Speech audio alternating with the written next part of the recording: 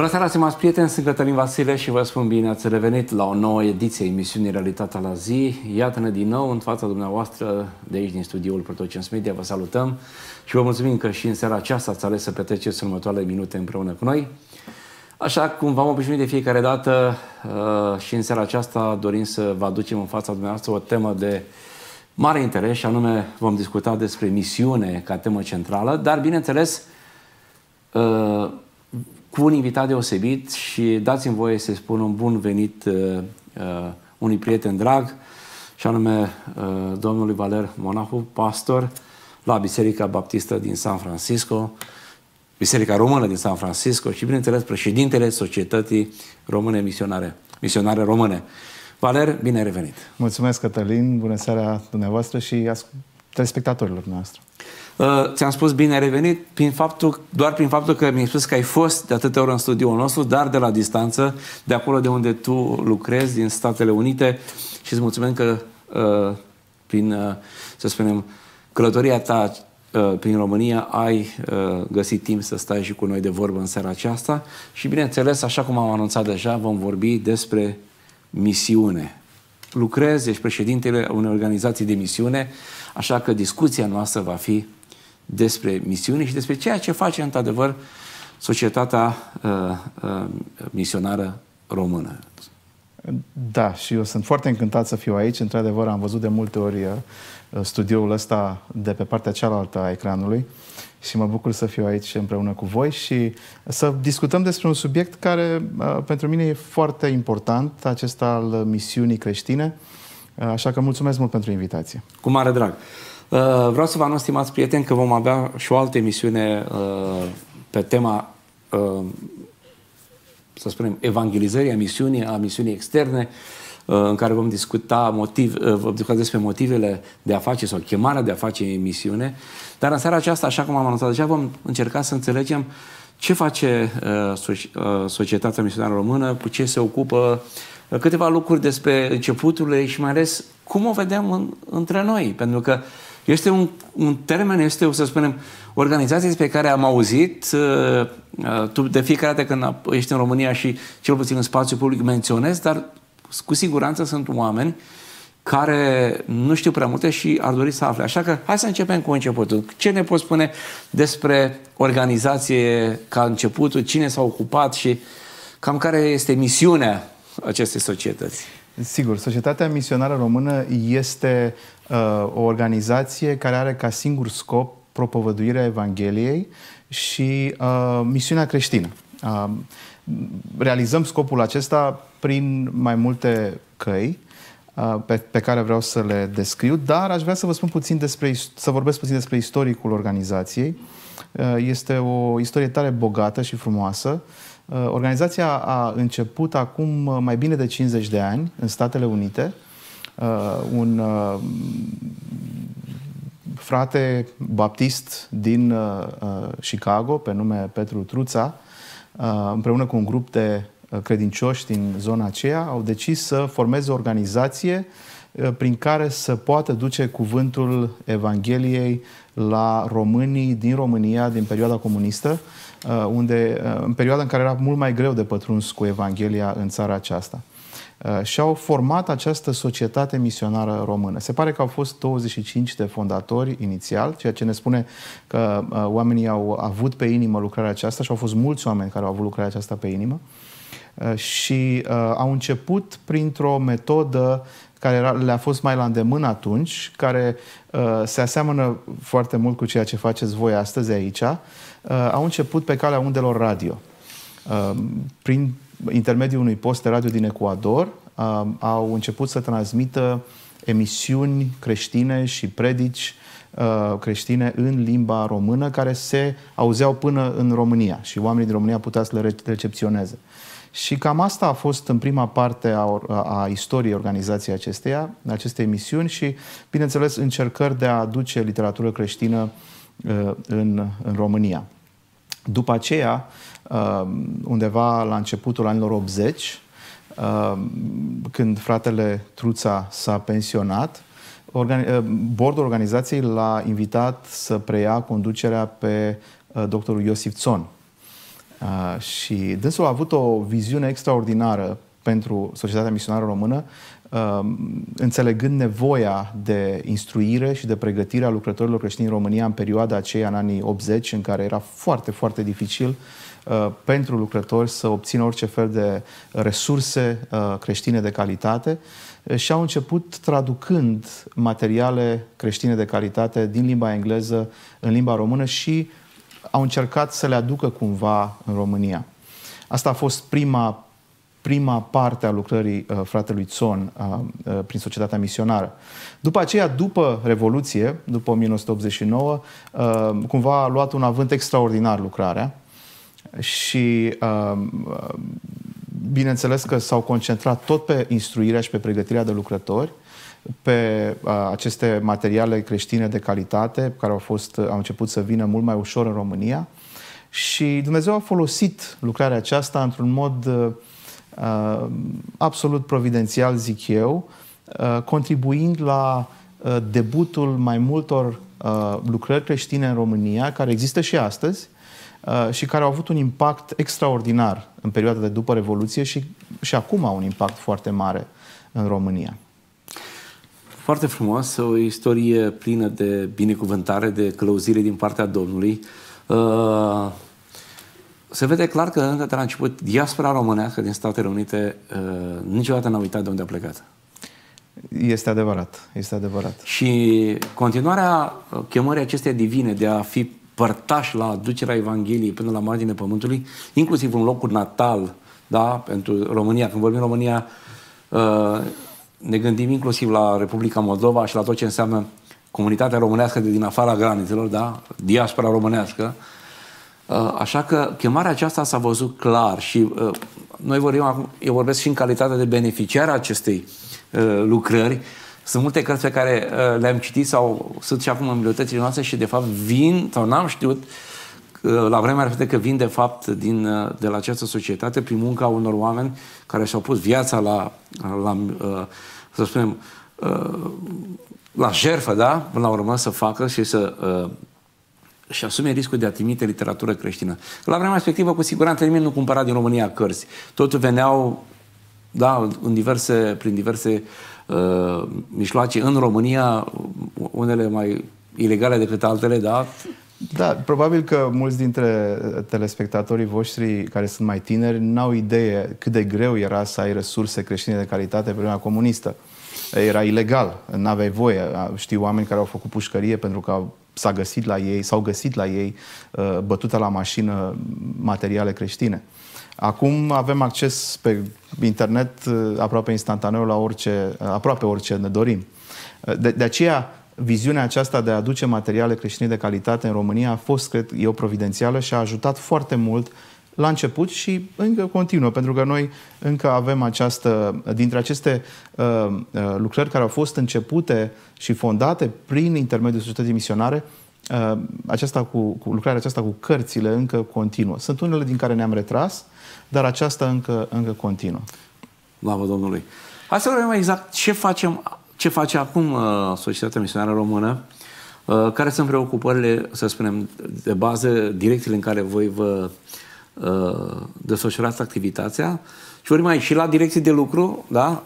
dar și la răspândirea geografică. Sigur, aș vrea doar să mai completez, dacă îmi dai voie, Um, despre aceste lucruri care s-au făcut, un pic din istoric, pentru că e foarte important. Perioada aceasta de după Revoluție a fost foarte prolifică, să spun așa, um, pentru societatea misionară română în România. Bineînțeles, uh, din nou spun, a fost providența și harul lui Dumnezeu că am putut să facem lucrurile acestea. Um, întotdeauna eu spun că societatea misionară română este un braț pe care Dumnezeu l-a folosit cumva peste ocean al românilor de acolo ca să vină să facă lucrări în România. Um, și câteva exemple care au fost uh, uh, și sunt încă uh, lucrări de referință în România. De exemplu, Alianța Evanghelică din România a avut printre membrii fondatori și printre cei care au început această lucrare Societatea Misionară Română și pe fratele dr. Iosif Țon. De asemenea, um, Universitatea Emanuel din Oradea, care se numea Institutul Biblic Emanuel la început din Oradea, a fost început prin viziunea uh, și implicarea societății misionare române și mai ales a fratelui Iosif Țon. Uh, noi, între timp, ne-am retras din lucrarea aceasta a Institutului, însă foarte multe lucruri la început au fost făcute, așa cum spuneam, de Domnul prin intermediul societății misionare. De asemenea, cred că ați auzit de o rețea de posturi de radio în România, Radio Vocea Evangheliei. Cum să nu? sunt convins că Sunt partenerii noștri, sunt colegii noștri. Da, de asemenea, am avut o implicare uh, destul de substanțială și în uh, începuturile acestei rețele de, de posturi de radio creștine în România, care acum, iată, uh, este um, un post de radio de referință și îl ascultăm și noi peste hotare, pe internet, de multe ori și ne bucurăm că Dumnezeu lucrează prin el. Uh, cam astea sunt câteva dintre lucrurile pe care aș fi vrut să le punctez pentru că fac parte și au o, o istorie aparte în cadrul societății misionare române. De asemenea, este editura Cartea Creștină, despre care vreau să vorbesc mai pe larg, care a început tot în perioada aceea, dar din care încă nu ne-am retras. Încă continuăm să o, uh, să o uh, uh, continuăm această lucrare, să facem această lucrare. Este una dintre lucrările dragi mie din cadrul societății misionare și am să vorbesc puțin despre, despre ea. Dar dacă ar fi să ne gândim acum, la ora actuală, ce face societatea misionară română, am putea să uh, împărțim activitatea societății pe șase paliere diferite. Avem șase obiective, șase lucrări majore în care suntem implicați în România la ora actuală, uh, prin care, bineînțeles, așa cum am spus, nu facem altceva decât să uh, reușim să, sau încercăm să propovăduim Evanghelia uh, celor care nu au auzit-o încă și să ajungem cu vestea aceasta bună a mântuirii prin Domnul Isus Hristos la toți oamenii din România, Moldova și chiar și din Ucraina, unde avem câțiva uh, păstori misionari pe care îi susținem. Uh, deci cele, cele șase paliere ar fi uh, următoarele. În primul rând avem lucrarea de uh, susținere a păstorilor misionari. Uh, avem un număr de aproximativ 60 de păstori misionari răspândiți cam pe tot teritoriul României, inclusiv Republica Moldova și în Ucraina. Uh, păstori care uh, fac, o lucrare, uh, fac o lucrare tare frumoasă în zone mai defavorizate, în zone mai aride din punct de vedere al uh, Evangheliei, în zone în care uh, e nevoie de misionari.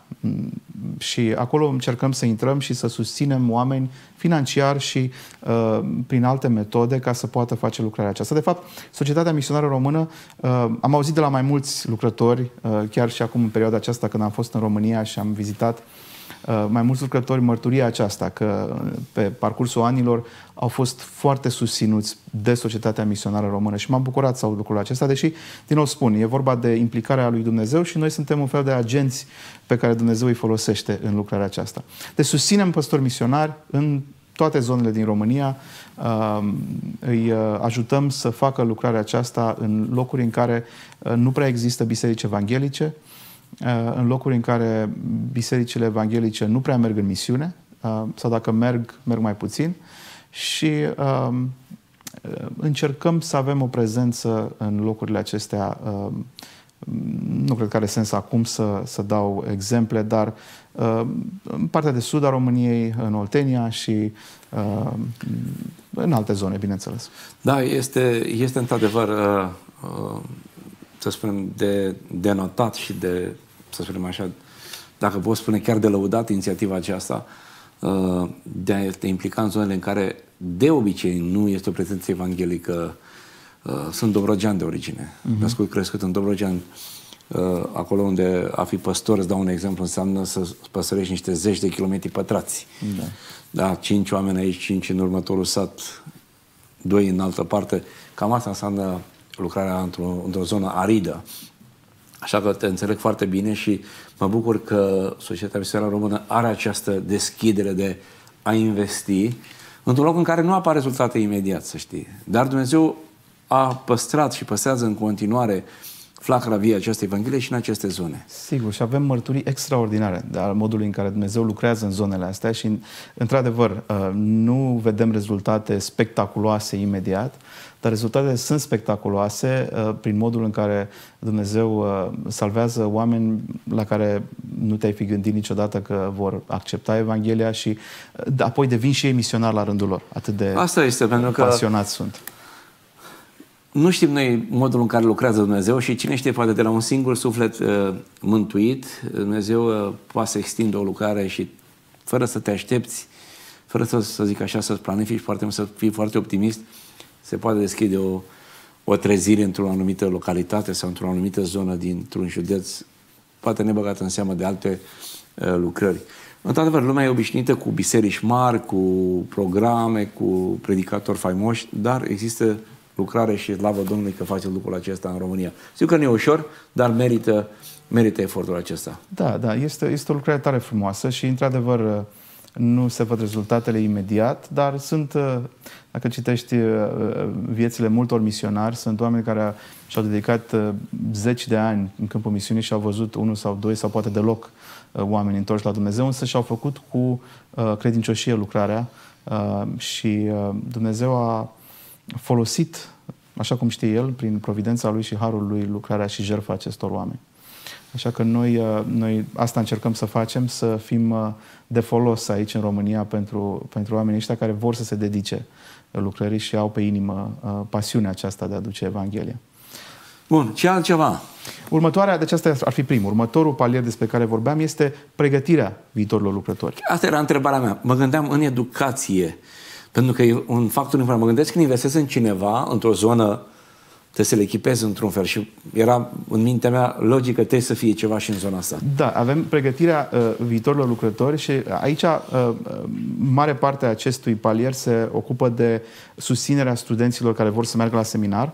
Uh, Uh, avem burse pe care le oferim uh, studenților care au nevoie, recomandați de uh, profesorii de acolo și colaborăm și cu seminarul din București și cu Universitatea Emanuel din Oradea.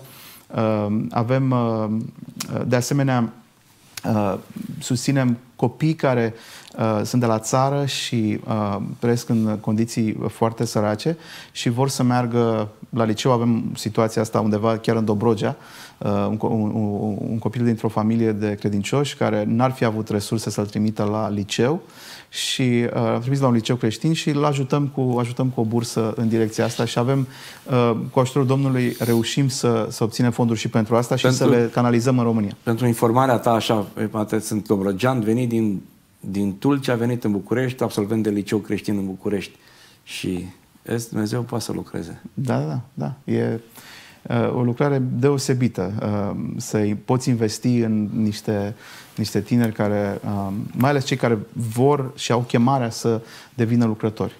Um, în perioada aceasta în care parcă nimeni nu mai vrea să fie lucrător, um, uh, studenții la seminar uh, s-au împuținat, uh, parcă nu se mai înghesuie nimeni să devină păstor și vrem să încurajăm. N-am vrea ca problema financiară, de exemplu, să fie un lucru care să-i oprească din a continua această lucrare. Bineînțeles că în afară de partea financiară avem și uh, conferințe pe care le organizăm și uh, uh, încercăm, acum încă n-am ajuns la punctul ăsta, dar colaborăm mai nou uh, și cu fratele uh, profesor Sorin Bădrăgan de la Universitatea din București, uh, care de câteva luni este directorul național al Societății Misionare aici în România și uh, cu dânsul pregătim cursuri de instruire pentru uh, uh, păstorii misionari pe care îi avem uh, deja în, uh, în grupul nostru uh, și uh, vom investi în direcția în care ai intuit puțin mai devreme, uh, în uh, pregătirea lor și uh, ca să poată să facă o lucrare mai eficientă. Dar uh, deocamdată ăsta este palierul de pregătire, este cel de investire în uh, studenții care vor să meargă la seminar sau la Universitatea Emanuel din Oradea. Uh, și de asemenea uh, conferințe și, eu știu, avem, uh, am făcut de parcursul timpului conferințe de apologetică, de ucenicizare și astfel investim în, în creșterea spirituală a acestor tineri. Slavă Domnului, extraordinar. Extraordinar. Mai departe, un alt palier. Mai departe, un alt palier este cel cu lucrările sociale. Avem în majoritatea acestor zone unde slujesc păstorii ăștia, misionarii pe care noi îi susținem, sunt zone foarte sărace, marea majoritate, în care trăiesc oameni, mie nu mi-a venit să cred, fiind crescut în București, că încă există în România, în secolul 21, locuri în care oamenii să trăiască în condițiile în care trăiesc oamenii ăștia. Îți dau un exemplu uh, la Megidia, unde slujește fratele Sali Sabri. Acolo suntem puternic implicați uh, împreună cu, cu fratele uh, Sabri acolo. Cartierul acela, Alibaba, unde trăiesc... Da, e un cartier faimos. Unde trăiesc acei turci, români, turci, nu știu exact ce sunt, dar sunt oameni pentru care Domnul Isus a murit și care au nevoie să audă Evanghelia și noi încercăm să-i uh, ajutăm, să-i slujim împreună cu biserica locală, uh, dar văzând condițiile de acolo, uh, mi-am zis că uh, e nevoie de mai multă implicare și în domeniul acela social. Sigur, noi nu suntem uh, în mod... Uh, obiectivul nostru principal nu este a fi o societate de binefacere. Uh, suntem o societate creștină de uh, misiune, de evangelizare. Dar folosim metodele acestea pentru a ajunge la oameni cu Evanghelia și ne ocupăm de săraci și de văduve în mod special, uh, cu alimente, cu haine, medicamente, ce este nevoie acolo. Uh, sponsorizăm, îl ajutăm pe Sali în lucrarea aceasta cu uh, cantina socială din Megidia da. și mai avem încă câteva zone din țară unde sunt astfel de oameni foarte săraci în care investim Uh, pentru ajutorarea lor. Vreau să vă aduc un argument uh, în favoarea modului de lucru pe care îl aveți voi și îmi place. Observ în ultima vreme în România, dar asta vorbesc înainte de criza din Ucraina. Uh, fac o paranteză, criza din Ucraina este o situație excepțională, e o prioritate, toate resursele acum merg în direcția asta și încă mai mult de lucru Sper să putem face față pe termen lung. Așa că uh, ce spune acum este uh, o situație de dinainte și uh, observ că foarte multe organizații creștine și chiar biserici au mai la îndemână implicarea în activitățile sociale decât în activitățile educaționale. Într-un fel, eu întotdeauna așa am spus asta că nu e foarte corect din punct de vedere biblic, pentru că Domnul Hristos, într-adevăr, investea, le dădea să mănânce, îi vindeca, aveau tot felul de activități dar important era cuvântul, întotdeauna le da. predica.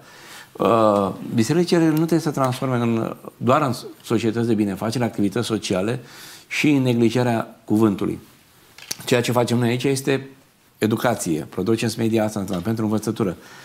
Uh, și multe alte organizații fac asta. Dar pentru noi, cei implicați în educație, vedem o mai mare deschidere a oamenilor către activități sociale, Uh, decât în a investi în educație. Dacă spune că ai vreau să organizez un curs online sau nu știu ceva și aș avea nevoie de suport, cu siguranță uh, ar fi mai, mult mai greu de găsit, uh, să spunem așa, decât dacă spune că vreau să mă duc, nu știu, la lui și vreau să dau de mâncare la 10 copii. Atunci, cu siguranță, ar să iei oamenii mult mai rapid. Vorbesc de lumea creștină, da?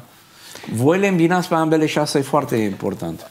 A, așa este. Și, sincer, spun, fiind implicat de câțiva ani în, în lucrarea aceasta, e mult mai ușor să strângi fonduri, așa cum spuneai, pentru activitățile sociale Oamenii sunt mult mai săritori exact. să dea bani pentru asta și atunci cumva când ai o organizație uh, care crește, ai nevoie de fonduri ca să o susții și atunci te duci automat în direcția aia de unde vin banii. Exact. Uh, dar noi vrem să păstrăm echilibrul și să fie foarte clar, întotdeauna uh, facem foarte clar lucrul acesta. Noi folosim activitățile sociale pentru că avem chemarea aceasta să ajutăm pe cei săraci, pe orfani și pe văduve, dar o facem numai în scopul de a propovădui Evanghelia.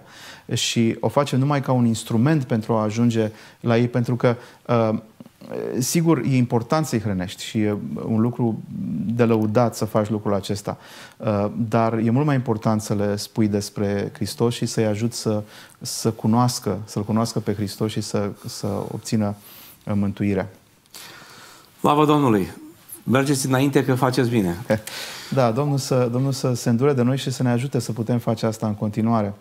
Uh, activități sociale, de asemenea, uh, ne ocupăm de copii orfani sau defavorizați uh, în sensul educărilor nu numai prin aceste activități sociale de binefacere, dar de asemenea organizăm tabere pentru ei, organizăm ieșiri, excursii, încercăm să-i scoatem puțin din mediul acela în care sunt.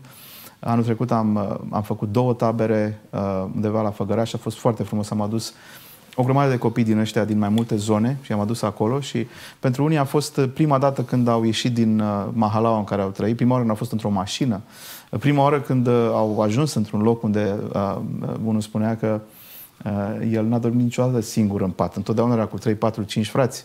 Și acum, într-o dată, are un pat numai pentru el și nu știa cum să se descurce în situația respectivă. Sau altul s-a plâns că de ce dăm de mâncare de trei ori pe zi, că la ei acasă numai o dată dacă apucă să mănânce. Și acum aveam micul dejun, prânz și cina și a fost ceva inedit pentru, pentru copii. Sigur, uh, noi zâmbim, dar e trist că se întâmplă lucrul ăsta. Uh, și ieșirile astea, taberele astea sunt o mică oază de normalitate pentru copiii ăștia care văd că se poate și altfel și încep să aibă alte uh, țeluri în viață și nu numai asta, dar într-o săptămână sau 10 zile cât îi ținem noi acolo, stau într-un mediu creștin în care uh, aud Evanghelia dimineața la prânz și seara, în care stau cu oameni credincioși și uh, are un impact deosebit un astfel de eveniment în viața lor. Am văzut uh, cu ochii mei uh, Uh, de mai multe ori vieți transformate din evenimentele acestea. Deci, pentru mine sunt foarte, foarte aproape de inima mea uh, activitățile astea cu copiii, în afară de hrănire și toate celelalte lucruri, dar faptul că reușim să-i uh, scoatem un pic din mediul acela și, de asemenea, cu programe after school. În zonele acestea avem frați și surori care se ocupă de ei în programe after school sau chiar programe în loc de school, pentru că uh-huh. unii nu merg la școală deloc, Uh, unii nu sunt primiți la școală pentru că au păduc, sunt murdari și uh, cam asta e, uh, asta e ilegal, ar trebui să fie primiți, dar nu sunt primiți. Și atunci facem cu ei, uh, facem cu ei școală uh, în programele astea. Lava Domnului, lava Domnului. Uh, am o întrebare așa pe lângă. Cam câți oameni uh, sunt în, în organizație, așa vorbim cu colaboratori, cu oameni angajați? Angajați. Angajați înseamnă nu ca pe payroll, dar nu pe statul de plată, și angrenați în, în toate lucrarea asta așa. Colaboratori, oameni. Asta e o întrebare Sute, bună. nu? N-am, n-am sute. numărat niciodată exact. Așa, implicați direct, uh, probabil că în afară de păstorii ăștia despre care spun și misionarii cu care colaborăm, uh, care sunt undeva pe la 60 și ceva, uh, ceilalți colaboratori, probabil că ne apropiem de 100. Cam așa. Da, pentru că sunt și oameni care vorba, nu sunt, sunt implicați, participă, da, da. Uh, nu sunt în, pe statul de plată al nimănui, da. dar fac și sunt contribuie. Dar uh, nu trebuie să, trebuie să spun aici, pentru că noi considerăm ca parteneri în lucrare pe toți donatorii noștri.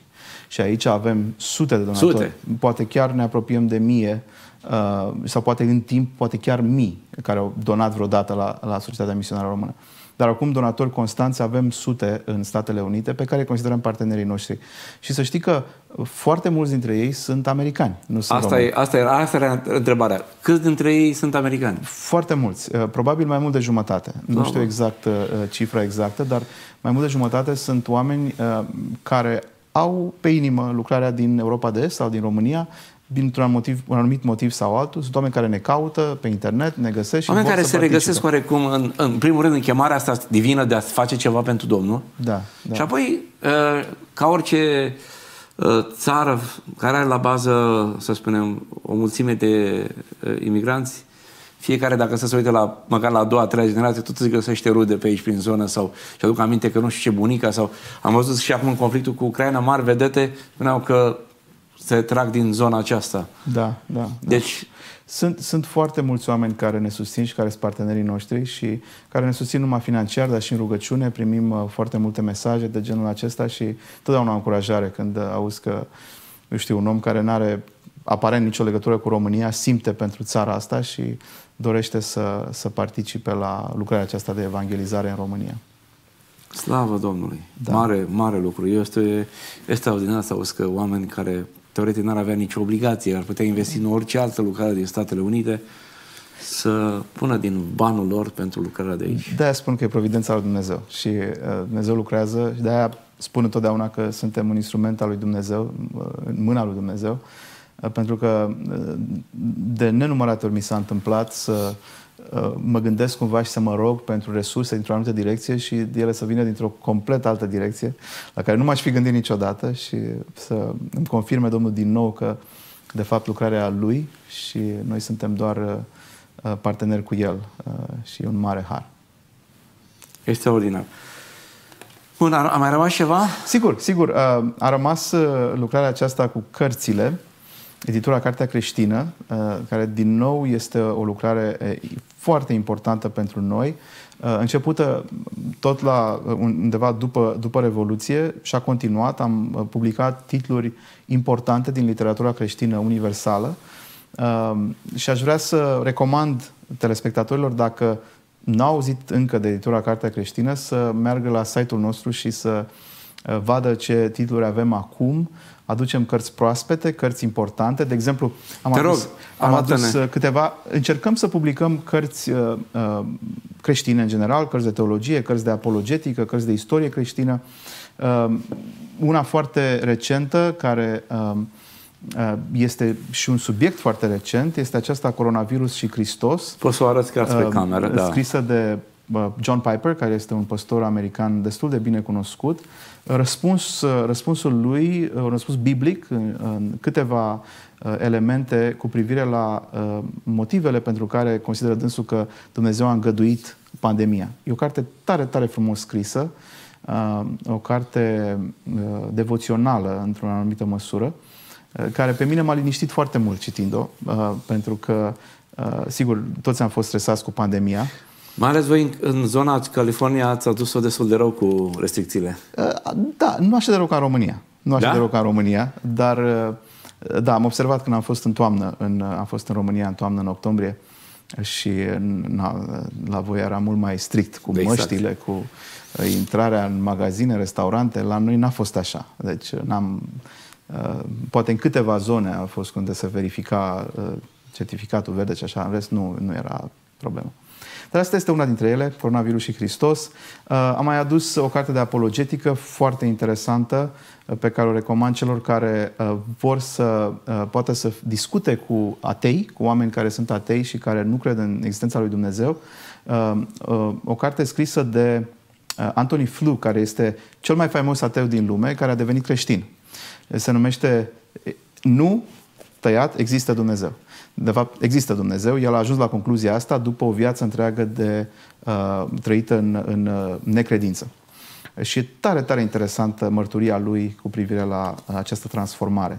Există Dumnezeu, de un Flow, o găsiți pe ecc.ro uh, și de asemenea o carte de istorie despre uh, istoria Americii, care, uh, sigur, um, a fost fondată de oameni credincioși.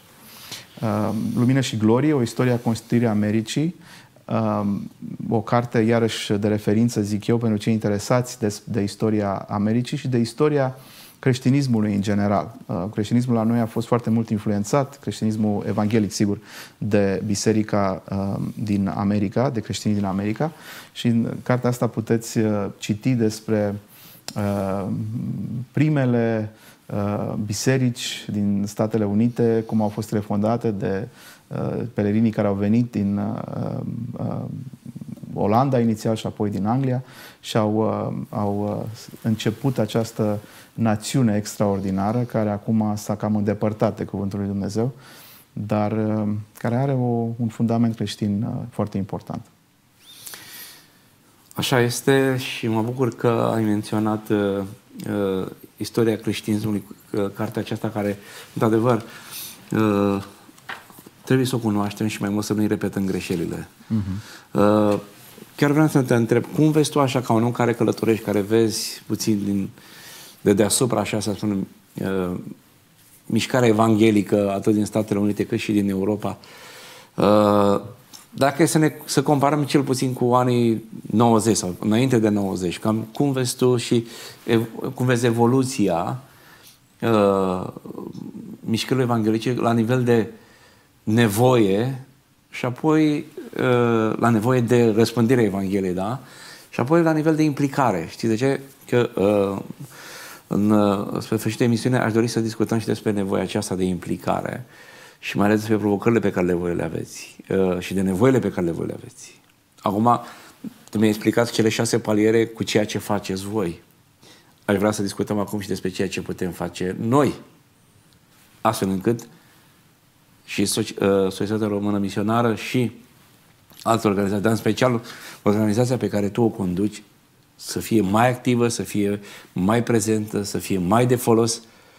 Mă bucur când vin bani din Statele Unite, dar ai vrea să știu că vin bani și din România sau dacă nu au venit până acum să vină de acum încolo. Așa că vreau să văd puțin cum vezi tu lucrurile. Sigur, uh, Societatea Misionară Română încă de la începuturi a uh, încercat să răspundă nevoii generației respective prin mijloacele pe care le-au avut și prin posibilitățile care au fost atunci, în anii 60, apoi în anii 70, 80 și așa mai departe. Uh, după Revoluție, mai ales, implicarea a fost foarte, foarte masivă. Acum suntem într-o nouă etapă în care creștinismul în România a luat amploare, nu mai sunt restricțiile care au fost în timpul comunismului, uh, impactul pe care uh, anumite lucrări care s-au făcut l-a avut este evident, bisericile au crescut, uh, s-au răspândit, cunosc și implicarea bisericilor creștine din România este, este masivă în evangelizare și în misiune și în lucrare și nu numai în România, dar cam în foarte multe țări din lume. Ehm, știu frați care merg uh, în misiune în Africa sau ehm, ehm, în Asia, în uh, Rusia. Să se face misiune din România și este un lucru extraordinar. Uh, și mă bucur că nu trebuie, nu, nu mai suntem în situația de a aduce bani doar din Statele Unite dinspre vest încoace sau de a trimite misionari dinspre vest încoace, ci România a devenit o țară care trimite misionari și asta e un lucru extraordinar.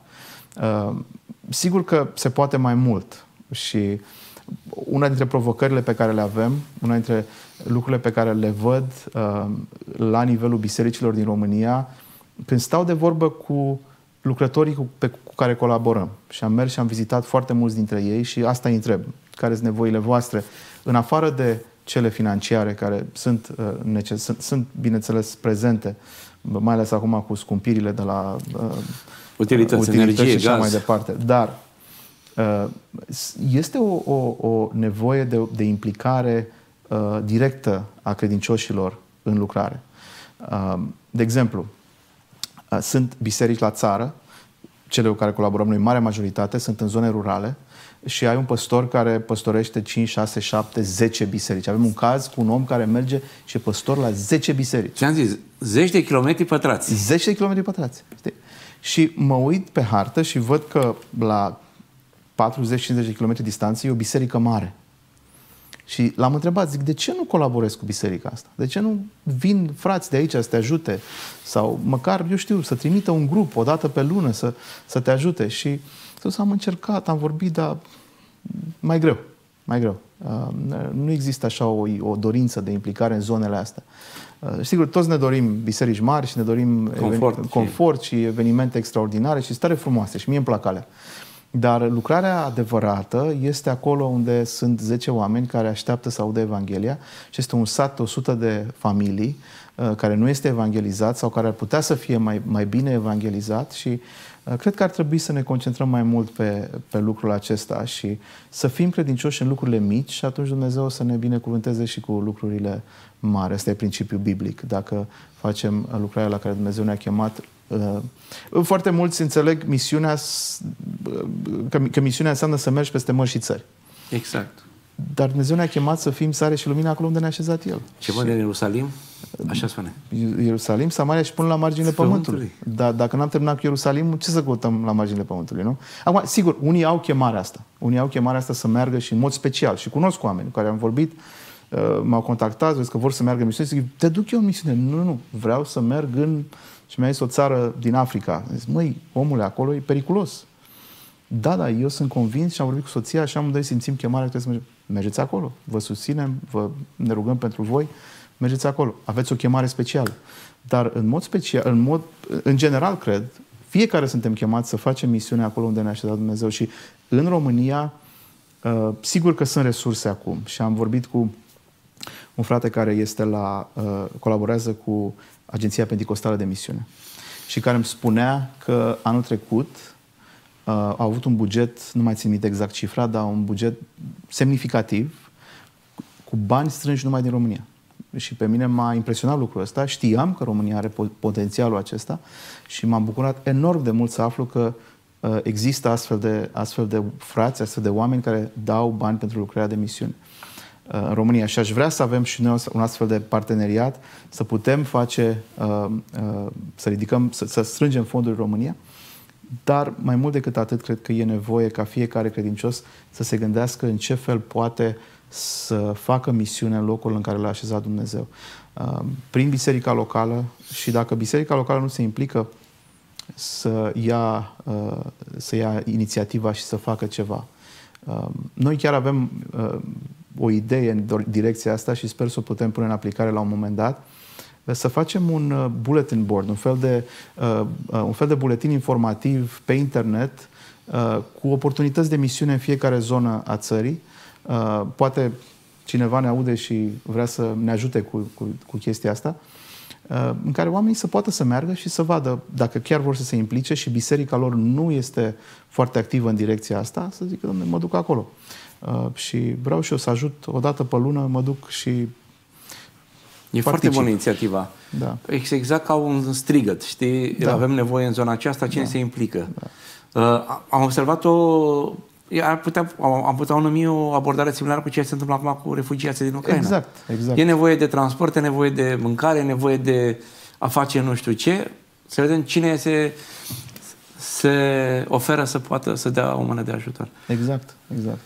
Uh, am, am uitat să zic că uh, asta cu uh, criza din Ucraina în ultima Chiar asta era o întrebarea pe care vreau să ți-o adresez. în ultima vreme uh, ne-am implicat masiv în uh, lucrarea aceasta cu, cu refugiații din Ucraina, uh, pentru că, sigur, uh, avem uh, misionari pe care îi susținem în Ucraina, uh, avem uh, oameni care slujesc în partea de nord a țării, uh, lângă granița cu Ucraina și în Republica Moldova și uh, majoritatea acestor oameni au uh, Uh, cred că toți, cred că toți au primit refugiați în bisericile lor, în casele lor și participă la lucrarea de ajutorare. Am trimis uh, alimente și materiale în Ucraina, deja uh, două transporturi masive uh, și pregătim al treilea transport din partea societății misionare, uh, înspre, unul spre Cernăuți, unul aici la Ismail, uh, mai aproape uh, de Tulcea și uh, pregătim încă unul care cred că va ajunge la Odessa cu ajutorul Domnului. Și de asemenea avem un program pe care tocmai l-am lansat de adoptare a familiilor de refugiați. Încercăm să găsim donatori din Statele Unite care să adopte o familie de refugiați care vrea să se stabilească în România sau în Statele Unite sau undeva o perioadă de timp să îi susțină financiar și uh, cu ajutorul Domnului să putem să fim mărturie și prin lucrarea aceasta. Extraordinar. Este, uh, să spun, de apreciat implicarea Uh, românilor și numai a românilor. Văd asta și în Polonia și în alte părți, dar uh, provocarea pe care o avem noi este să vedem cât putem să o ducem pe termen lung. Este o problemă care va dura, din păcate. Da. Uh, entuziasmul acesta pe care l-am arătat până acum, uh, văd că începe să scadă. Așa e ființa umană, uh, dar uh, avem nevoie de niște acțiuni pe termen lung. Așa că orice ajutor venit din, uh, din afară pentru a ajuta familia aceasta este binevenit. Uh, ne apropiem de încheiere. Valer, extraordinară discuția. Mă bucur că am putut împărtăși împreună cu tine. Acum, dacă uh, ne-ai putea lăsa un îndemn, o încurajare, ești și păstor, ești un uh, om care uh, are grijă de sufletele oamenilor acolo în biserica pe care o păstorești în San Francisco, biserica pe care am și vizitat-o. Uh, de asemenea, uh, un gând, o orice, uh, uh, să spunem, mesaj pe care l-am putea lua ca și concluzie în seara aceasta e binevenit. Așa că te rog. Uh, aș, aș reveni la ideea aceasta că Dumnezeu ne-a chemat la lucrare și uh, ne-a chemat să fim activi în, uh, în câmpul Evangheliei. Uh, ideea aceasta cu câmpul este uh, conectată de ideea de recoltă. Uh, holdele pe care le ai în spate sunt gata de recoltă și uh, Dumnezeu ne cheamă să facem lucrarea asta și cred că e foarte important să nu pierdem din vedere chemarea asta pentru că uh, este uh, până la urmă cred eu unul dintre motivele pentru care încă suntem pe aici și suntem copiii lui Dumnezeu în lumea aceasta întunecată, din ce în ce mai întunecată. Și aș vrea să încurajez pe telespectatorii noștri spunând că cu cât, cu cât întunericul devine mai dens, cu atât lumina e mai clară și mai puternică și chiar dacă cumva întunericul din jurul nostru pare să ne cuprindă, să ținem minte că lumina pe care Hristos ne-a dat-o, să o ducem în lume, uh, este încă aprinsă și este aprinsă foarte, foarte bine uh, și uh, trebuie, trebuie răspândită. Lumea asta are nevoie de pace cu Dumnezeu și are nevoie de mesajul Evangheliei și noi trebuie să facem lucrarea aceasta în continuare. So, asta este încurajarea mea și îndemnul meu pentru cei care ne urmăresc. Uh, rugați uh, pe Domnul să vă uh, direcționeze într-o, într-o lucrare pe care să o puteți face pentru el, oricare ar fi ea, oricât de mică și de neînsemnată ar fi ea, este chemarea pe care o avem ca și credincioși. Slavă Domnului! Ne rugăm și noi pentru voi, pentru Societatea Misionară Română, pentru activitatea pe care o desfășurat pe toate cele șase paliere, de asemenea pentru uh, voi, pentru familiile voastre și implicați în această lucrare. Dumnezeu să vă dea putere, să vă dea toate resursele și mai ales să fiți uh, un model de slujire și pentru românii din, din țară. Amin. Amin. Amin. Îți mulțumesc foarte mult pentru prezență. Uh, ne revedem la următoarea ediție, așa cum am promis și Dumnezeu să, să-ți dea călăuzire în continuare valoare. Mulțumesc pentru invitație, Cătălin, și uh, Domnul să vă binecuvânteze în lucrarea asta pe care o faceți, care este deosebit de frumoasă cu Prodocens Media. Lavă Domnului! Și noi mulțumim lui Dumnezeu pentru tot ce ne pune la dispoziție. Stimați prieteni și dumneavoastră, vă mulțumim în seara aceasta, vă mulțumim că ne-ați primit în casele dumneavoastră. Până data viitoare, noi de aici vă salutăm și vă spunem la revedere!